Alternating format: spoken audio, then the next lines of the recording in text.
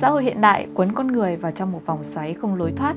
Đôi khi chúng ta cố vùng vẫy nhưng cũng không biết bám vào đâu để thoát ra. Càng vùng vẫy thì lại càng trống rỗng, càng vùng vẫy thì lại càng thấy tuyệt vọng.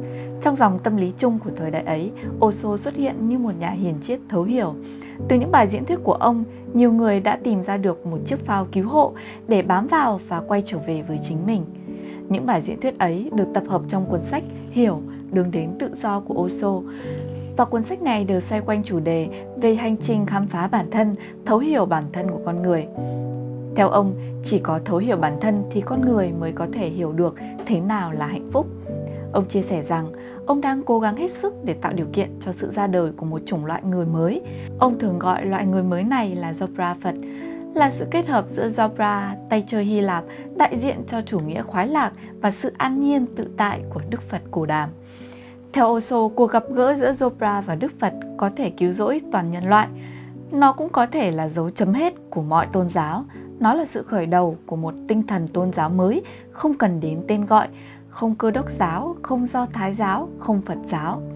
Con người khi ấy chỉ đơn giản là tận hưởng bản thân, tận hưởng vũ trụ bao la, nhảy múa với cây cối, vui đùa với sóng biển, thu nhặt vỏ sò không vì mục đích nào khác ngoài niềm vui thuần túy. Trong hiểu đường đến tự do, Osho nhấn mạnh rằng con người chúng ta là một trình thể thống nhất nên sự chú trọng vật chất không hề đối lập với tinh thần. Chúng ta có thể tận hưởng mọi thứ thuộc về cuộc sống này, mọi thứ bên ngoài bạn và bạn cũng có thể tận hưởng mọi thứ bên trong bạn.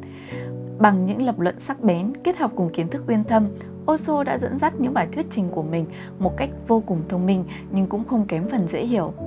Nó giúp người đó có sự tiếp cận một cách thấu suốt có thể chúng ta đồng ý hoặc không đồng ý với quan điểm của Osho, nhưng chúng ta có thể khẳng định rằng Osho là một người minh triết.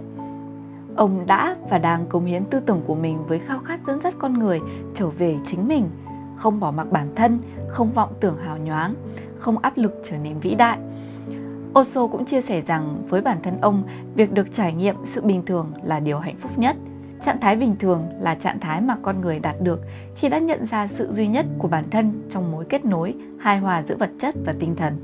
Lúc đạt được trạng thái này, đó cũng là lúc mà ta có thể sống cởi mở và vị tha, tử tế.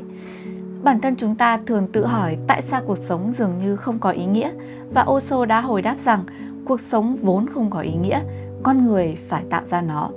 Chỉ khi tạo ra nó, bạn mới tìm thấy nó.